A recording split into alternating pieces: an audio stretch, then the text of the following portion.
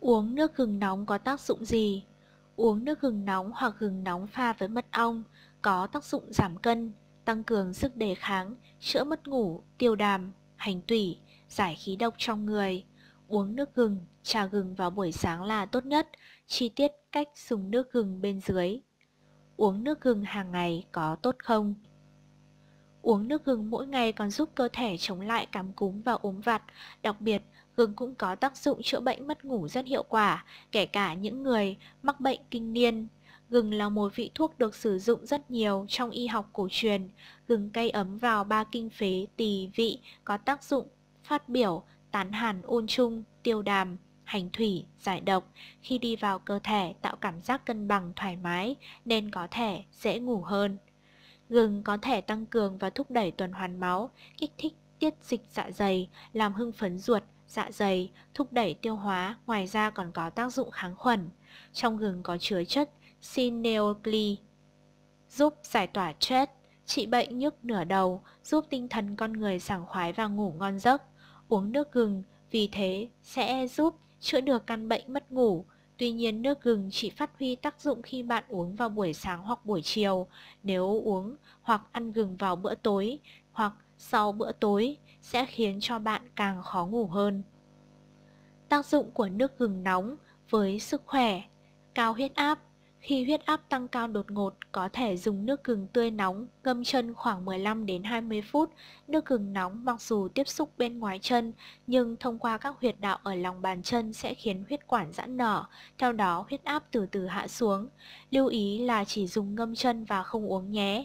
Hồi chân cho thêm chút muối và giấm ăn vào nước gừng nóng, sau đó ngâm chân khoảng 15 phút, lau khô để chân thoáng mát, mùi hôi sẽ tự khắc biến mất.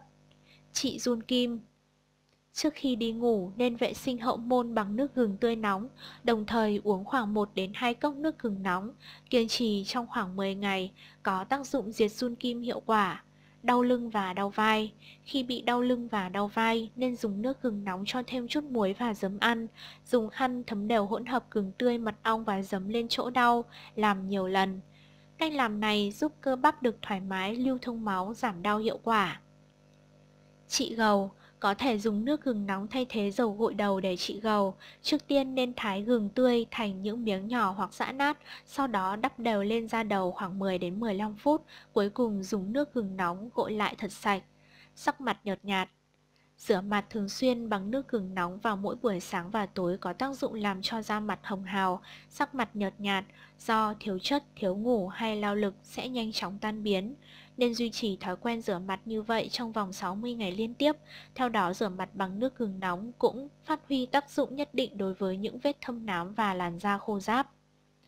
Say rượu bia Dùng nước gừng nóng để uống không những thúc đẩy quá trình lưu thông máu mà còn giúp tiêu tan lượng cồn trong máu, nhanh chóng đánh bật cơn say xỉn và tình trạng đau đầu lúc tỉnh dậy sau khi uống say.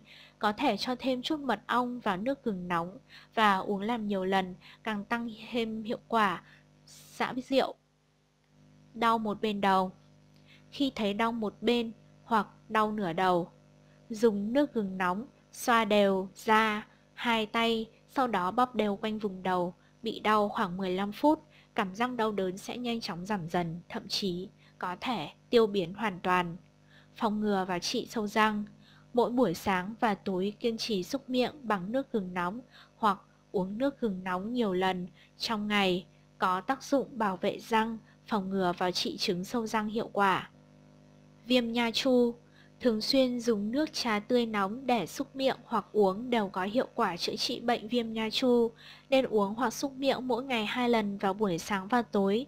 Nếu cổ họng bị rát, ngứa hoặc đau, có thể cho thêm chút muối ăn vào hòa tan và uống nóng, mỗi ngày uống khoảng 2 đến 3 lần. Lở loét khoang miệng Dùng nước gừng tươi thay trà để uống và xúc miệng thường xuyên khoảng 2 đến 3 lần mỗi ngày, hiệu quả sẽ khiến bạn thấy bất ngờ, khoảng 60 đến 90% vết lở loét đều biến mất.